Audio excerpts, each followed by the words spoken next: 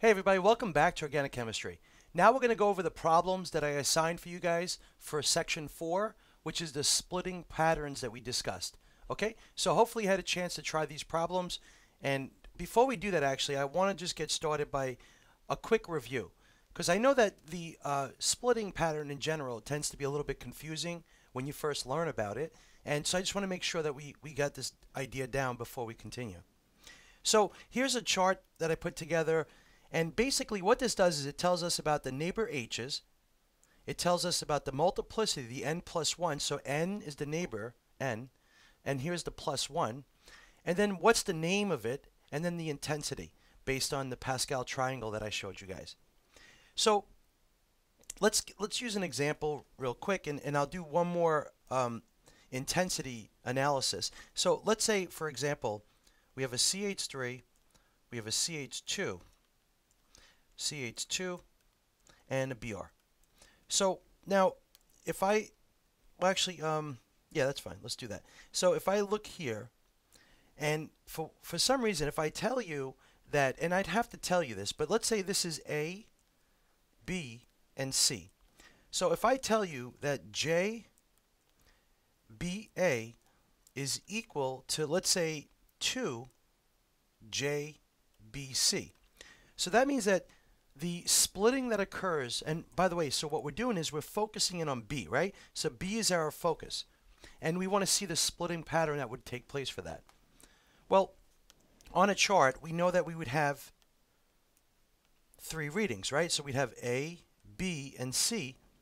So A is furthest from the BR and C, H is uh, closest to the BR. Now, if I look at A, it's only split by B, right? That's the only distance between them. So for J, this would be J, A, B only. Whereas for C, it would be J, C, B, right? Because C and B are coupled. They're three bonds or less away. And the same thing for A and B. So it's B that actually gets the more uh, complicated pattern. So let's just knock out A for a moment. So for A, what we would say is that we have uh, A's neighbors are B, so it's two H's, plus one is three. So that's a triplet, right? So we have two neighbor H's, plus one equals three, which is known as a triplet. And so we should have a one to two to one ratio. So if we look at A, it should be 1, 2 times bigger, and then 1. 1 to 2 to 1. Now, for C, it's split by B as well, so it's the same thing. Since B has two H's, then it would be, again, a triplet, right? So we'd have a 1 to 2 to 1 ratio. So for C, it would be a triplet, 1 to 2 to 1 ratio. So the height of the middle one should be 2 times bigger than the both ends. That's, that's what it means. And now let's deal with B. So that's the one that we're most concerned about. Now, if I tell you this, so this has to be told. Otherwise, you might think JA, uh, JBA and JBC are equal, and then it would just be n plus 1. But if I tell you on your exam that this is how it works out, then that means it's n plus 1 times n plus 1, right? So what we're saying here is that when B comes in, let's say we have JB by itself, it would be just one line if it had no neighbor magnetic fields, right? So remember, the coupling is three or bo three bonds or less away. And if it is three bonds or less away, then the neighbor magnetic fields are going to interfere with the signal. But what we start with is we assume there's no neighbor, and that gives us one line. So that means one message coming out that's not interfered, that's not disrupted. But we know that there are neighbors. So we always take the one that's bigger and we put it on top. So since I'm saying that JBA is two times bigger than JBC, remember? So the J is the coupling constant. It's the, the distance between those peaks. So this one is two times bigger. So we always start with the bigger one first. And so here we were gonna, what we're going to do next is we're going to refer to JBA since it's two times bigger. And so how I do that is I do my traditional n plus 1. So A has three H's, so plus 1 is 4. This is going to be a quartet. So we know it's going to go and make four messages. It's going to break up our single message into four. So now we're at that level. And now each of these four are going to further break apart by the next neighbor, JBC. Right? So the, the CHs over here are going to break it up. So it's 2 plus 1 is 3. So the next level is JBC. and this is the final level. And so we're going to break every one of these messages into three. One, two, three. One, two, three. One, two, three. One, two, three. Now I'm assuming something. I'm assuming that there's enough gap to fit three into every one above it. And that's not always true. So if you had graphing paper, you could actually really measure out by boxes what this distance would be and how many actually fit. And what you'll find is you start overlapping. So I'm forcing this to fit.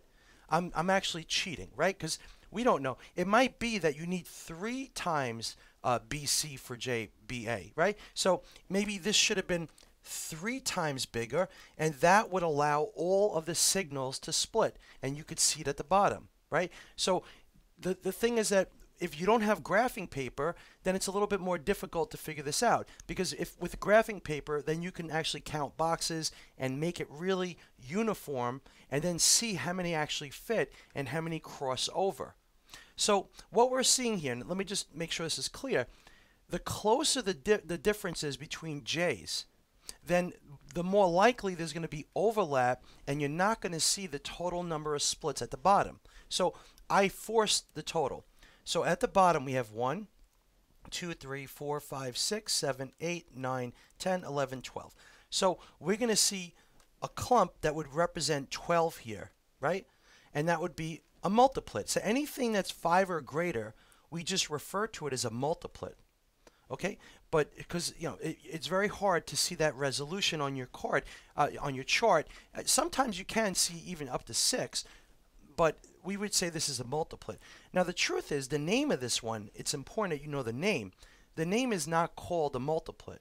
Okay, what this would be called is a quartet of triplets. So what we do is we say when you have n plus 1 times n plus 1, right? So it's JBA times JBC to get to 12, right? Because we have 3 plus 1 and 2 plus 1, and that's going to equal 12. So what we would actually see here is a name that represents them individually.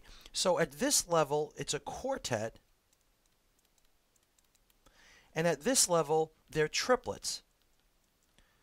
And so when you have this multiplication effect, we always refer to it at each level as part of its name. And we just connect it with the word of. So we connect everything together. So even if you went five levels down, it would be a something of something of something of something and, and so on. So you just keep using of. So for JB, uh, well, I should say for B, this one here is a quartet of triplets. Whereas this is just a triplet because it's not a multiplication effect. It's just one level down. There's only one neighbor. And this one here is also a triplet. Now, usually we write T or T or, or M for multiplet. Multiplet would include these other, you know, more fancy names, but you have to know the name in case it came up as a multiple choice question. So you have to understand when to use it. So if it's n plus 1, then you don't use the of. You just call it whatever it is. If it's 6, and it's a sextet or multiplet, um, you know, because usually past 5. But if you want to be specific, it would be a sextet for 6. But if it's, let's say, a triplet and then the next level is a, uh, brings it to six. So then you know, so let's say it's like a triplet and then a doublet. So three times two is six. You wouldn't call it a sextet. You'd say it's a triplet of doublets. Or in this case, it's not 12, it's a quartet of triplets. You see that? So hopefully that's now clear. I think it should be. Now, this is a summary of the actual intensity. So if you have a quartet, it's a 1 to 3 to 3 to 1. A quintet is a 1 to 4 to 6 to 4 to 1. And remember, all I'm doing is I'm adding up the ones above it, right? So from here, these two represent that. And then these two represent this and then that. And then th these two represent the 4. And then the 6 is by 3 plus 3. And 3 plus 1 is 4. So you just keep working down and you always add a 1 at both ends. So this is the 5.